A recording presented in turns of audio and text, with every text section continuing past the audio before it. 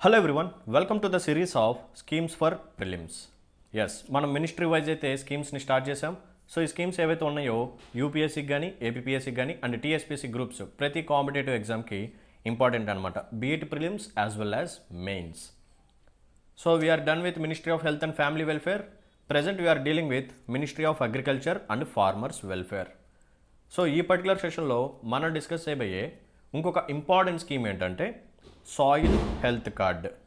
ఏంటిదమ్మా? Soil health card. So soil health card scheme గురించి ఈరోజు కాంపరెన్స్గా మాట్లాడుకుందాం. సో ఎప్పుడు తీసుకొచ్చారు? సో ఇంప్లిమెంటింగ్ మినిస్ట్రీ ఏంటి? ఓకేనా? సో ఫండింగ్ ఎలా ఉంటుంది? What are the objectives so దీంట్లో ఏ ఏ న్యూట్రియన్స్ ఉంటాయి? ఎన్ని న్యూట్రియన్స్ ఉంటాయి? ఆ న్యూట్రియన్స్ ఏంటి? ఏ న్యూట్రియన్స్ని మనం క్యాలిక్యులేట్ చేసి ఇలా ఒక రిపోర్ట్ కార్డ్ అనేది ఇస్తాము. సో ఇలా చాలా అంటే చాలా కాంపరెన్స్గా చాలా ఎక్కువ డీటెయిల్స్ అయితే మీకు ప్రొవైడ్ చేస్తాను. సో వీలైతే నోట్ డౌన్ చేసుకోండి. సో బట్ బట్ ఈ పర్టికులర్ సెషన్ మాత్రం స్కిప్ చేయొద్దు. కావాలనుకుంటే వన్ పాయింట్ టూ ఫైవ్లో కానీ వన్ పాయింట్ ఫైవ్ స్పీడ్లో కానీ వినండి. ఓకేనా right so without any further delay let start our session welcome to Saaram Sampatrao education this is Venkat so ఈరోజు మనం డిస్కస్ అయిపోయే స్కీమ్ ఏంటంటే soil health card scheme soil health card scheme so ఈ particular scheme ఏదైతే ఉందో it was launched in the year two thousand fifteen two thousand ఫిఫ్టీన్లో రాజస్థాన్ స్టేట్లో మన హానరబుల్ ప్రైమ్ మినిస్టర్ మోడీ గారు లాంచ్ చేశారనమాట అండ్ ఈ స్కీమ్ ఏదైతే ఉందో it is a centrally sponsored scheme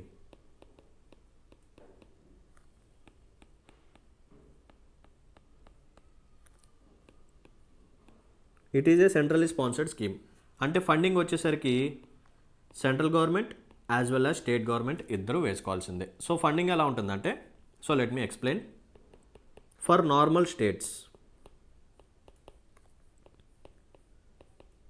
for normal states so normal స్టేట్స్కి it was like sixty is to forty ఓకేనా షేరింగ్ వచ్చేసరికి sixty is to forty sixty percentage central government పెట్టుకోవాలి. Forty percentage state government పెట్టుకోవాలి. Okay next north eastern states and Himalayan states so north eastern and కొన్ని Himalayan స్టేట్స్కి funding ఎలా ఉంటుందంటే ninety is to ten so ninety percentage will be bear by central government and ten percentage వచ్చేసరికి ఆ respective state governments పెట్టుకుంటే చాలు. And ఇంకొక side మనకి of course we have also talk about union territories union టెరిటరీస్లో hundred percent funding central గవర్నమెంటే పెట్టుకుంటుంది. ఓకేనా right so central sponsored scheme so ఇద్దరు central government and state government ఇద్దరు భరాయిస్తూ ఉంటారన్నమాట. అండ్ ఈ పర్టికులర్ స్కీమ్ ఏదైతే ఉందో it comes under ministry of agriculture and farmers welfare ఓకేనా రైట్ సో ఈ డేటా అనేది చాలా ఇంపార్టెంట్ సో మనకి ministry of agriculture and farmers welfare వారు తీసుకొచ్చిన స్కీమ్ ఇది.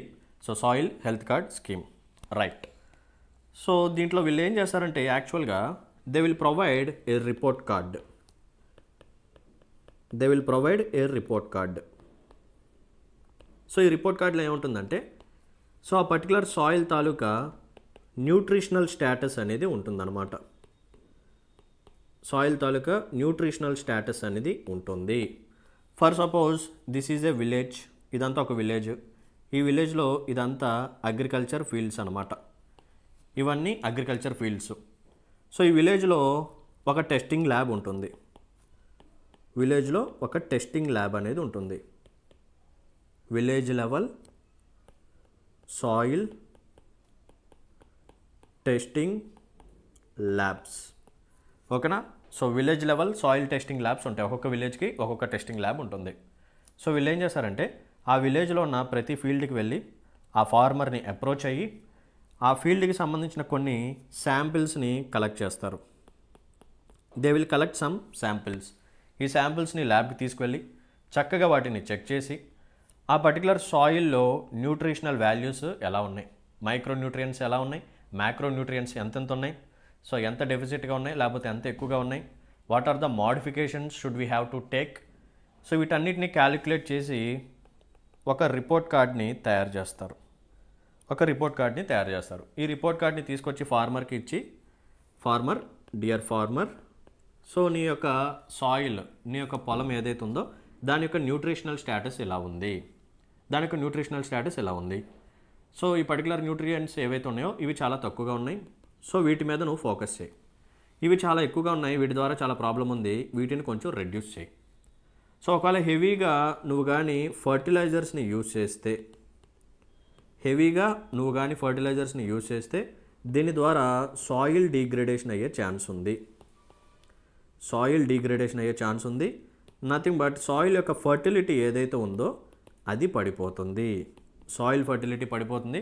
సో ఇష్టం వచ్చినట్టు ఫర్టిలైజర్స్ని స్ప్రే చేయమాకు పెద్దనా సో జాగ్రత్తగా ఉండు. చాలా తక్కువ అమౌంట్లో స్ప్రే చేయి. సో ఇలా మాడిఫికేషన్స్ చేసుకొని చెప్పి కొన్ని సజెషన్స్ అయితే ఇస్తుంటారన్నమాట by providing soil health cards ఇక్కడ ఇంకొక ఇంపార్టెంట్ పాయింట్ ఏంటంటే ఈ village level soil testing labs ఏవైతే ఉన్నాయో village level soil testing labs ఏవైతే ఉన్నాయో వీటిలో కావాలి అనుకుంటే ఆ విలేజ్కి సంబంధించిన యూత్ కూడా వర్క్ చేయొచ్చు.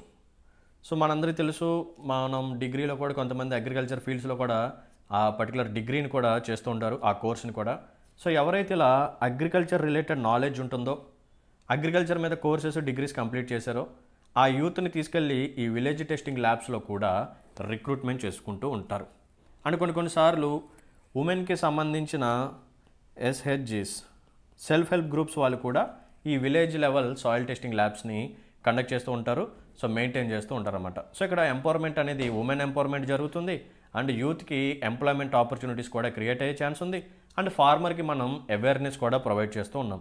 Just simple we are utilising the knowledge of youth so యూత్కి ఎవరికైతే అగ్రికల్చర్ మీద నాలెడ్జ్ ఉంటుందో వాళ్ళకి నాలెడ్జ్ని యూజ్ చేసుకుంటాం. అండ్ ఇంకో సైడ్ ఫార్మర్స్కి అవేర్నెస్ అనేది క్రియేట్ చేస్తున్నాం. సో దీని ద్వారా ఏం జరుగుతుంది? యాక్చువల్గా సో ఒకప్పుడు ఒక ఫార్మర్ ఇష్టం వచ్చినట్టు ఫర్టిలైజర్స్ని స్ప్రే చేస్తూ ఉండేవాడు. తెలియకుండా because of lack of awareness. So ఇలా సాయిల్ హెల్త్ కార్డు మనం ప్రొవైడ్ చేసి ఎక్కువగా ఫర్టిలైజర్ స్ప్రే చేస్తున్నాం. సో దీని ద్వారా సస్టైనబుల్ అగ్రికల్చర్ అయితే ఇక్కడ నువ్వు చేయలేవు. ఎందుకంటే రానున్న రోజుల్లో నీ సాయిల్ యొక్క ఫర్టిలిటీ పోతుంది. ఒకవేళ ఆ పర్టికులర్ సాయిల్ ఏదైతే ఉందో దాని యొక్క ఫర్టిలిటీ కానీ అది కోల్పోతే సో నెక్స్ట్ నీకు వచ్చే ఈ ప్రొడక్టివిటీ ఏదైతే ఉందో అగ్రికల్చర్ ప్రొడక్టివిటీ ఏదైతే ఉందో అది తగ్గిపోతుంది. వన్స్ నీ యొక్క ప్రొడక్టివిటీ తగ్గిపోతే నీకు వచ్చే ఇన్కమ్ అనేది తగ్గిపోతుంది. ఓకేనా? సో ఇలా ఓవరాల్ ఇంపాక్ట్ అవుతుంది సో కొన్ని చేంజెస్ అయితే చేసుకో పెద్దానని చెప్పి మనం అతనికి ఇలా యునో అవేర్నెస్ అనేది క్రియేట్ చేస్తూ ఉంటాం. సో ఫార్మర్ యొక్క అవేర్నెస్ క్రియేట్ అయింది. ఇప్పుడు ఆటోమేటిక్గా ఫార్మర్ ఏం చేస్తాడు? ఆ ఫర్టిలైజర్స్ యొక్క కన్జంప్షన్ని రెడ్యూస్ చేస్తాడు. ఇంతకుముందు ఎక్కువగా పర్చేజ్ చేసి ఇష్టం వచ్చినట్టు కలిపేసి ఎక్కువగా అంటే సరైన పర్సంటేజెస్ మిక్స్ చేయకుండా మనందరికీ తెలుసు ఫర్టిలైజర్స్లో యూజ్ చేసే కాంపోనెంట్స్ ఇవి nitrogen phosphorus and potash NPK ratio so ఇక్కడ రేషియో అనేది మనకి ideal ratio four is to two is to one ఉంటుంది. బట్ కొన్ని కొన్నిసార్లు ఫార్మర్స్ తెలియకుండా ఈ మిశ్రమాన్ని డిఫరెంట్ డిఫరెంట్ పర్సంటేజెస్తో మిక్స్ చేసి చేసేసి స్ప్రే చేస్తుంటారు. సో దీని ద్వారా సాయిల్కి కావాల్సిన న్యూట్రియంట్స్ కొన్ని ఏవైతే ఉన్నాయో అవి చాలా తక్కువ రావటం ఓకేనా కొన్ని కొన్ని న్యూట్రియంట్స్ చాలా ఎక్కువగా వెళ్ళిపోవటం సో వీటన్నిటి ద్వారా ఎక్కువ ప్రొడక్టివిటీ అనేది రాదు సాయిల్ మీద ఎక్కువగా స్ట్రెస్ అనేది పడుతూ ఉంటుంది. సో ఇప్పుడు ఫార్మర్ ఏం చేస్తాడంటే దాన్ని తగ్గట్టుగా అర్థం చేసుకొని ఈ ఫర్టిలైజర్స్ యొక్క కన్జంప్షన్ని కంట్రోల్ చేస్తూ ఉంటాడు. సో ఎప్పుడైతే ఒక పర్టికులర్ ఫార్మర్ ఇలా ఫర్టిలైజర్స్ యొక్క కన్జంప్షన్ని రెడ్యూస్ చేస్తాడో అతనికి అయ్యే ఇన్పుట్ కాస్ట్ ఏదైతే ఉందో ఇది తగ్గుతుంది.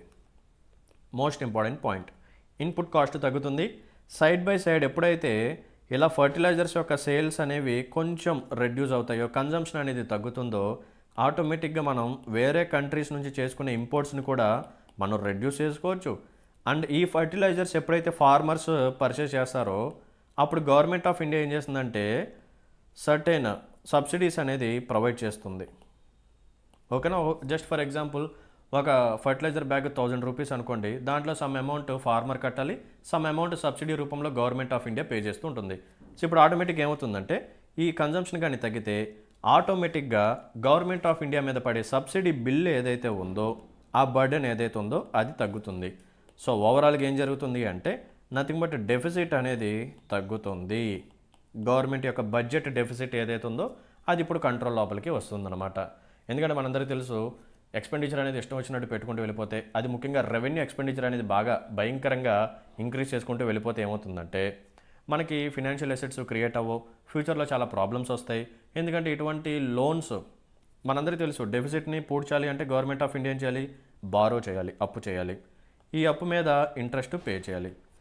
ఫ్యూచర్లో వచ్చే గవర్నమెంట్స్ ఏవైతే ఉన్నాయో వాళ్ళకి వచ్చే రెవెన్యూ సోర్సెస్ మొత్తం ఈ బారోయింగ్స్ని అంటే నథింగ్ బట్ ప్రిన్సిపల్ అమౌంట్ని యాజ్ వెల్ యాజ్ ఈ ఇంట్రెస్ట్ పేమెంట్స్ ఈ రెండింటిని తీర్చటానికి సరిపోతుందన్నమాట.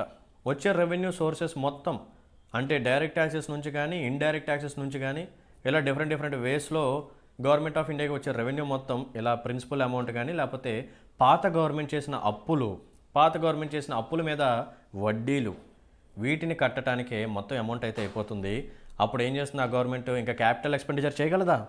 చేయలేదు. రోడ్స్ కన్స్ట్రక్ట్ చేయగలదా? చేయలేదు. ఇన్ఫ్రాస్ట్రక్చర్ డెవలప్మెంట్ చేయగలదా? చేయలేదు. హెల్త్ మీద ఎక్స్పెండిచర్ చేయగలదా? చేయలేదు. ఎడ్యుకేషన్ సెక్టర్ మీద ఎక్స్పెండిచర్ చేయగలదా? చేయలేదు. సో ఇలా చాలా అంటే చాలా ప్రాబ్లమ్స్ ఫేస్ చేయాలి కాబట్టి సో వీలైనంత మన డెఫిసిట్ని కంట్రోల్ చేసుకోవాలి. అందుకని physical responsibility and budget management act FRBM act అనేది తీసుకొచ్చారు. ఎందుకంటే గవర్నమెంట్ ఇలా ఇష్టం వచ్చినట్టు అప్పులు చేసుకుంటూ వెళ్ళిపోతుంది.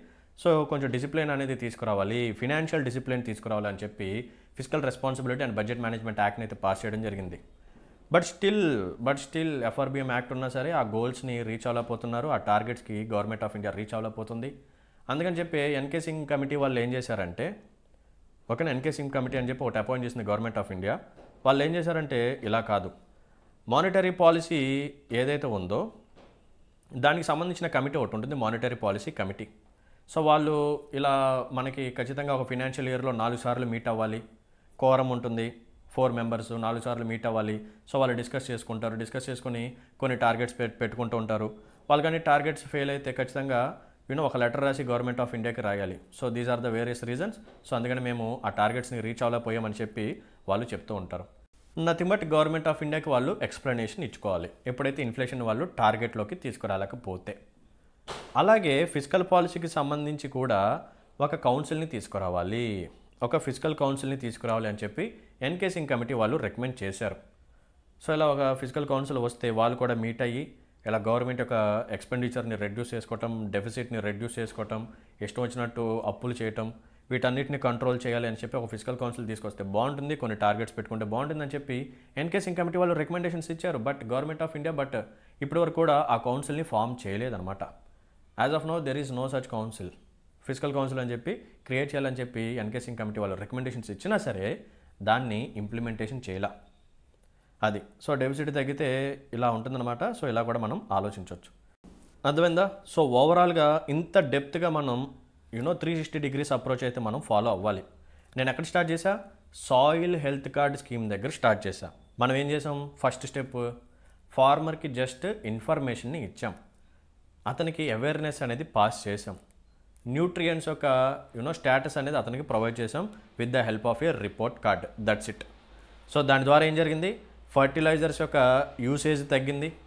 ఫర్టిలైజర్స్ యొక్క కన్జంప్షన్ తగ్గింది. ఆటోమేటిక్ ఏమవుతుంది? ఫార్మర్కి అయ్యే ఇన్పుట్ కాస్ట్ తగ్గుతుంది. అప్పుడు ఫార్మర్ యొక్క ఇన్కమ్ పెరిగే ఛాన్స్ ఉంది. అండ్ ఎప్పుడైతే ఫర్టిలైజర్స్ కన్జంప్షన్ తగ్గుతుందో ఇంపోర్ట్ మనం రెడ్యూస్ చేసుకోవచ్చు. ఎందుకంటే మనం ఎక్కువగా వేరే కంట్రీస్ నుంచి ఫర్టిలైజర్స్ని ఇంపోర్ట్ చేసుకుంటూ ఉంటాం. సో ఇంపోర్ట్ బిల్లు తగ్గుతుంది. ఫారెక్స్ రిజర్వ్స్ అనేది మన దగ్గర ఇప్పుడు కొంచెం పెరిగే ఛాన్స్ ఉంది. ఎగ్జాస్ట్ అయిపోకుండా ఉంటాయి ఎందుకంటే మన డాలర్స్లో బయట వాళ్ళకి పే చేయాలి కాబట్టి.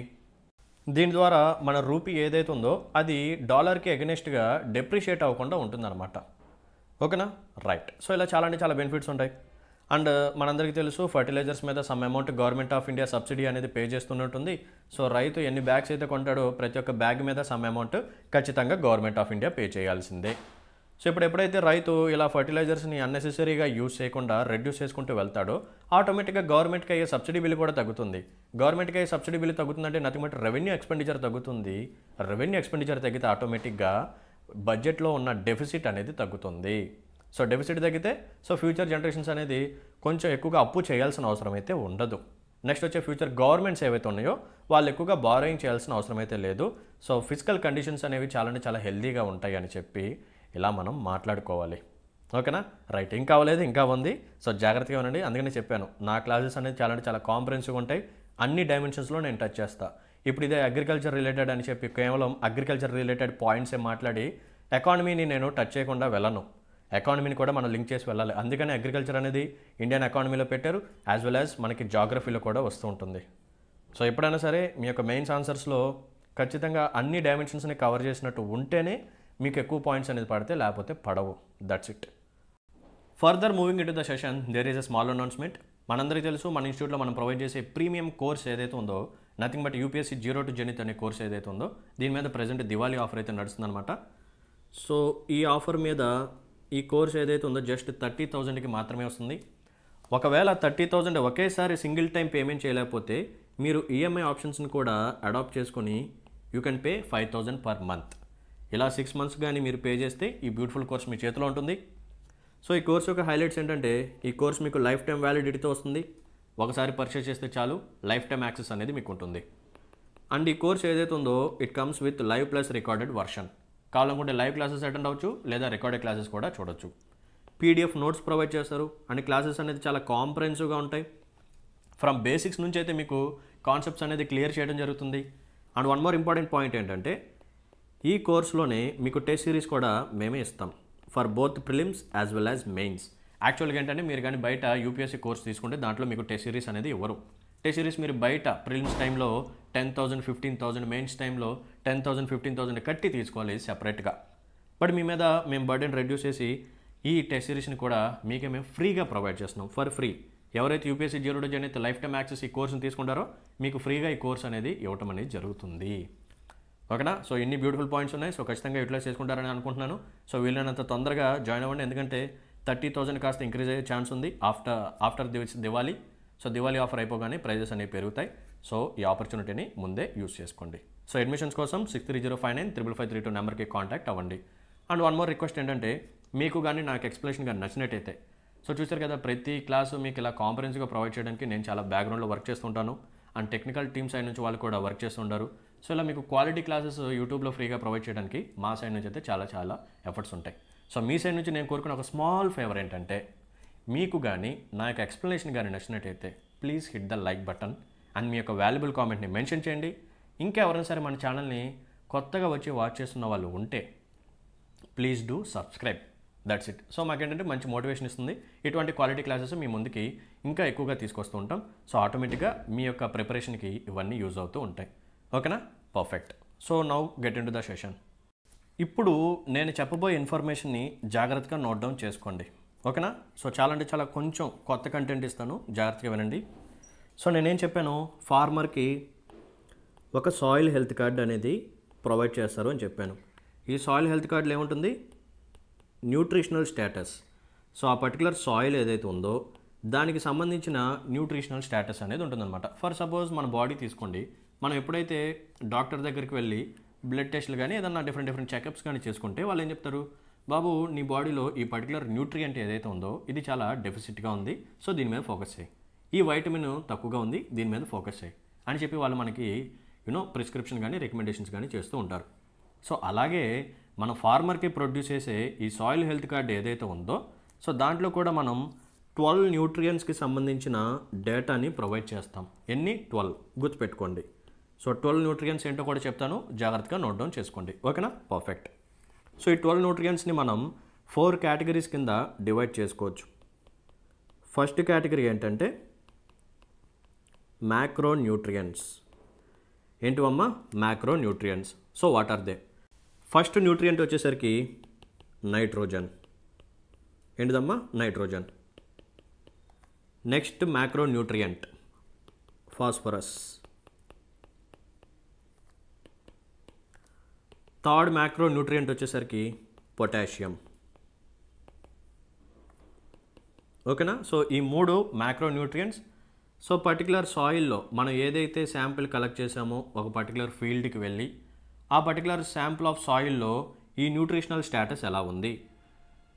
బాబాయ్ నీ particular సాయిల్లో macronutrients nothing but nitrogen phosphorus potassium ఏవైతే ఉన్నాయో సో ఇవి ఇలా ఉన్నాయి. సో వీటి యొక్క చేంజెస్ నువ్వు కొన్ని కొన్ని మాడిఫికేషన్ చేసుకోవాలని చెప్పి మనం అతనికి సజెషన్స్ అనేది ప్రొవైడ్ చేస్తూ ఉంటాం. ఇవి macronutrients next second classification ఏంటంటే మ్యాక్రో అయిపోయింది కాబట్టి we have to talk about micro so micronutrients ఏంటివి? సో మైక్రో న్యూట్రియంట్స్ వచ్చేసరికి first one boron zinc next one వచ్చేసరికి iron next one copper last one వచ్చేసరికి మ్యాంగనీస్.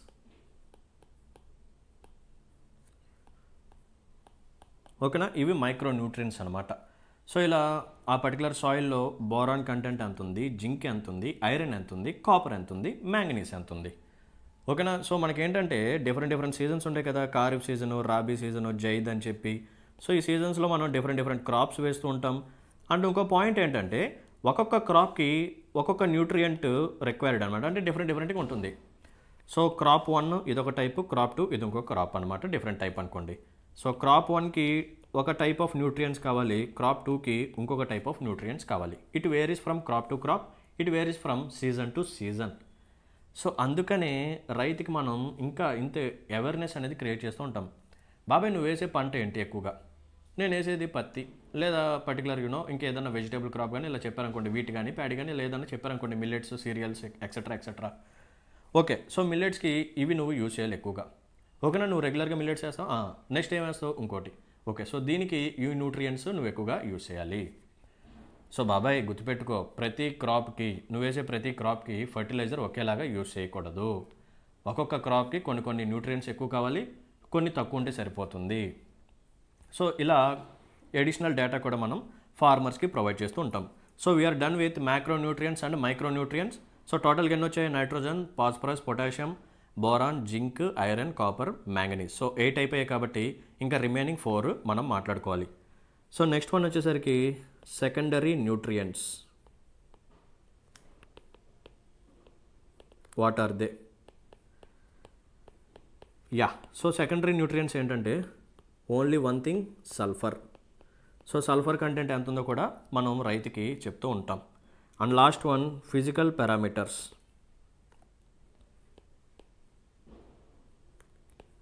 Physical parameters.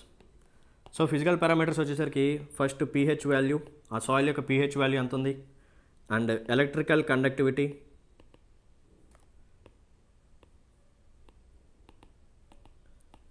ఈసీ అని చెప్పి మనం రాస్తాం electrical conductivity and last one వచ్చేసరికి organic carbon OC. ఓకేనా? So pH level and electrical conductivity organic carbon. ఇలా twelve twelve nutrients ఏవైతే ఉన్నాయో వీటి యొక్క స్టేటస్ని మనం ఈ సాయిల్ హెల్త్ కార్డ్ రిపోర్ట్లో ప్రొవైడ్ చేయటం అనేది జరుగుతుంది. చూసారా? చాలా అంటే చాలా కాంప్రహెన్సివ్గా లిస్ట్ మొత్తం చెప్పాను. సో నోట్ డౌన్ చేసుకున్నారని అనుకుంటున్నాను. కావాలనుకుంటే ఒక చోట పాజ్ చేసుకొని నోట్ డౌన్ చేసుకోండి. ఓకేనా? రైట్ సో ఒకసారి మనం ఆలోచిద్దాం. సార్ ఈ particular soil health card scheme ఏదైతే ఉందో దీన్ని మీరు చెప్పినట్టు టూ థౌజండ్ ఫిఫ్టీన్ నుంచి మనం ఇంప్లిమెంట్ చేయడం స్టార్ట్ చేసాం అది కూడా నేషనల్ కవరేజ్ మొత్తం ఇండియా మొత్తం మనం కవర్ చేయాలి. నేషనల్ కవరేజ్ సో ఇండియాలో ఉన్న ప్రతి ఫార్మర్కి సాయిల్ హెల్త్ కార్డ్ని మనం ప్రొవైడ్ చేయాలి. సో వాళ్ళకి అవేర్నెస్ అనేది క్రియేట్ చేయాలని చెప్పి మనం మాట్లాడుకున్నాం. బాగుంది. సో టూ థౌజండ్ ఫిఫ్టీన్ నుంచి ఇంప్లిమెంట్ చేసుకుంటూ వస్తున్నాం కదా. ఏమైనా పాజిటివ్ ఇంపాక్ట్స్ కానీ ఏమైనా changes కనిపించాయంటే yes so according to report published by National Productivity Council so there is a council called National Productivity Council వీళ్ళు ఇచ్చిన రిపోర్ట్స్ ప్రకారం వీళ్ళు ఇచ్చిన రిపోర్ట్స్ ప్రకారం గవర్నమెంట్ ఆఫ్ ఇండియా ఈ సాయిల్ హెల్త్ కార్డ్ స్కీమ్ అనే ప్రోగ్రామ్ని తీసుకురావడం ద్వారా మన ఇండియాలో కనిపించిన ఒక ఇంపార్టెంట్ చేంజ్ ఏంటంటే ఈ కెమికల్ ఫర్టిలైజర్స్ ఏవైతే ఉన్నాయో వీటి యొక్క యూసేజ్ ఏదైతే ఉందో ఇది తగ్గింది. ఎంత శాతం తగ్గింది? ఎయిట్ టు టెన్ పర్సెంటేజ్ తగ్గిందంట. So previous utilisation of chemical fertilisers మనం హండ్రెడ్ పర్సెంట్ తీసుకుంటే దాంట్లో ఎయిట్ టు టెన్ పర్సెంటేజ్ ఇప్పుడు డ్రాప్ అయిందనమాట అంటే ఏంటి? అన్నెసెసరీ యూసేజ్ ఏదైతే ఉందో అది తగ్గింది. ఒకప్పుడు అవసరం లేకపోయినా సరే విపరీతంగా మనం స్ప్రే చేసేస్తాం ఫర్టిలైజర్స్. ఎంత ఎక్కువగా ఫర్టిలైజర్ స్ప్రే చేస్తే అంత ఎక్కువ ప్రొడక్టివిటీ అని చెప్పి మనం థింక్ చేస్తూ ఉంటాం. బట్ దాని ద్వారా చా సాయిల్ మీద చాలా అంటే చాలా ప్రాబ్లమ్స్ పడుతూ ఉంటాయి. So over a period of time soil fertility కోల్పోతుంది. సో సాయిల్ అనేది చాలా హీట్ ఎక్కిపోతూ ఉంటుంది. సో సాయిల్ మనం అలా పట్టుకొని ఇలా ఇయర్స్ దగ్గర పెట్టుకుంటే మనకి హీట్ సెన్సేషన్ అనేది తగులుతూ ఉంటుంది. అదే చెక్ చేస్తూ ఉంటారు. సో అలా సాయిల్ మీద ఎక్కువగా మనం స్ట్రెస్ పెట్టేస్తూ ఉంటాం. సో దీని ద్వారా మనకి సస్టైనబుల్ అగ్రికల్చర్ ప్రాక్టీస్ అనేది ఉండదు. Over a period of time ఇండియాలో అగ్రికల్చర్ ప్రొడక్టివిటీ తగ్గిపోతుంది. ఫుడ్ సెక్యూరిటీ అనేది ఉండదు. It leads to food insecurity it leads to food insecurity ఓకేనా సో చూశారు కదా ఎంత డ్రాస్టికల్ చేంజో ఈ కెమికల్ ఫర్టిలైజర్స్ యొక్క కన్జంప్షన్ ఏదైతే ఉందో అది తగ్గిందనమాట ఎంత? ఎయిట్ టు టెన్ పర్సెంటేజ్ తగ్గింది. అండ్ అనదర్ ఇంపార్టెంట్ పాయింట్ ఏంటంటే ఈ సాయిల్ హెల్త్ కార్డ్స్ని మనం యూజ్ చేయడం ద్వారా అగ్రికల్చర్ ప్రొడక్టివిటీ పెరిగిందంట. ఎంత శాతం? ఫైవ్ టు సిక్స్ పర్సెంటేజ్ పెరిగింది. అగ్రికల్చర్ ప్రొడక్టివిటీ కూడా పెరిగింది. చూసారా ఇంత బెనిఫిట్స్ ఉంటాయి సో జస్ట్ మనం ఏం చేసాం? వి మేక్ అవేర్నెస్ ఫార్మర్కి అవేర్నెస్ క్రియేట్ చేసాం by providing this report card so అతను ఏం చేశారు ఆటోమేటిక్గా అమ్మో నేను ఇష్టం వచ్చినట్టు యూజ్ చేశానా? సో నేను తగ్గించుకోవాలి. ఈ యూటిలైజేషన్ తగ్గించుకోవాలని చెప్పి రైతు ఆ కెమికల్ ఫర్టిలైజర్స్ యొక్క కన్జంప్షన్ని రెడ్యూస్ చేసుకుంటూ వచ్చాడు. సో దీని ద్వారా ఏం జరిగిందంటే eight to ten percentage reduce అయింది ఇండియా మొత్తంలో కెమికల్ ఫర్టిలైజర్స్ యొక్క కన్జంప్షన్ సో ఆటోమేటిక్గా ఏమవుతుంది? కన్జంప్షన్ తగ్గితే సో సాయిల్ మీద పడే స్ట్రెస్ తగ్గుతుంది అగ్రికల్చర్ ప్రొడక్టివిటీ పెరుగుతుంది. ఓకే బాగుంది. దీంతో పాటు ఇంపోర్ట్స్ కూడా మనం రెడ్యూస్ చేసుకోవచ్చు. ఎందుకంటే ఇప్పుడు ఎక్కువగా మనం కన్జంప్షన్ చేయట్లేదు కాబట్టి అండ్ వీటి మీద ప్రొడ్యూస్ చేసే సబ్సిడీస్ యొక్క బడ్జెట్ యునో ఆ బర్డెన్ కూడా తగ్గుతుందన్నమాట గవర్నమెంట్ ఆఫ్ ఇండియాకి సో ఇలా చాలా అంటే చాలా పాజిటివ్ ఇంపాక్ట్స్ ఉంటాయని చెప్పి మనం కంక్లూజన్లో వే ఫార్వర్డ్గా మాట్లాడుకోవచ్చు అనమాట ఓకేనా? రైట్ సో దీంతో ఈరోజు సెషన్ అయితే మనం కంప్లీట్ చేసుకున్నాం సక్సెస్ఫుల్గా so soil health card scheme అంటే నేనంటే చాలా అంటే చాలా కాంపరెన్స్గా మీకు చెప్పాను. సో మీకు కానీ ఐఎమ్ అగైన్ రిక్వెస్టింగ్ మీకు కానీ నాకు ఎక్స్ప్లెనేషన్ కానీ నచ్చినట్టయితే please hit the like button and మీ యొక్క వాల్యుబుల్ కామెంట్ని మెన్షన్ చేయండి. And thank you for watching this session see in the next session and take care bye జై హింద్